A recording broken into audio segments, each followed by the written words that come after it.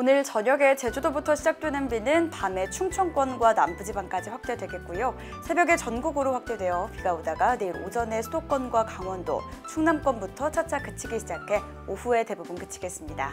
한편 비가 그친 뒤 늦은 오후부터 기온이 큰 폭으로 떨어지겠습니다. 기상 정보 잘 참고해 주시기 바랍니다. 그럼 자세한 내일 날씨 살펴보시죠.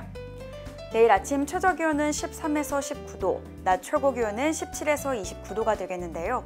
늦은 오후부터 중부지방을 중심으로 기온이 점차 떨어지며 쌀쌀하겠으니 건강관리 잘 해주시기 바랍니다.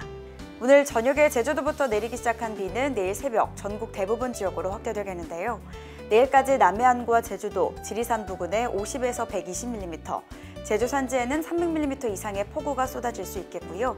수도권과 강원도에는 5에서 40mm, 그 밖에 전국에는 20에서 70mm의 비가 예상됩니다.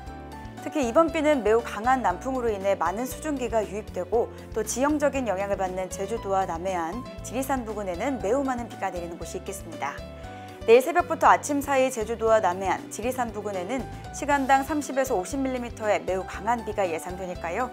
피해가 없도록 각별히 유의하시기 바랍니다.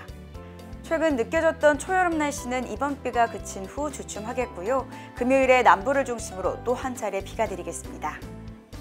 중부지방을 중심으로 내일 오후부터 기온이 큰 폭으로 떨어지니까요. 급격한 기온 변화로 인해 건강 상하지 않도록 건강관리 잘 해주시기 바랍니다. 지금까지 웨더뉴스 내일의 날씨였습니다.